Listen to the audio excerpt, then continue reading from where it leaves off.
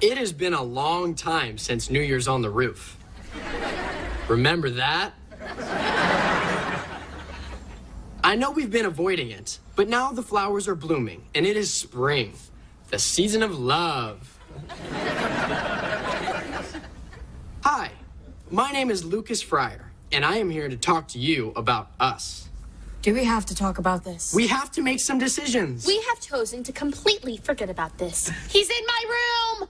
You have to make some decisions. This is very hard for me.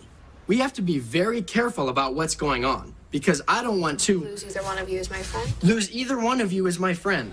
Wait, you were with him when he wrote this? No, Maya, I think we just all know what's at stake here. Nothing's at stake here. Just tell me right now, nothing will affect our friendship. It won't. What about what I want?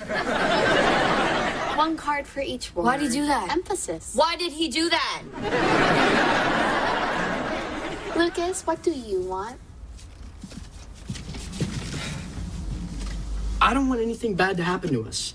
But I especially don't want to be responsible for something bad happening between the two of you. We know that. Why do you think we like you? What's it say on your last card? Oh, I'll get to it. See, I have different feelings for each of you, and I don't entirely understand them. We don't understand this either. That's why the smartest thing to do would be to make the right decision right now and just move on. Great. How do we do that? You mean choose one of us over the other? What happens then? That would be the end of us. What's it say on your last card? I don't want this to be the end of us.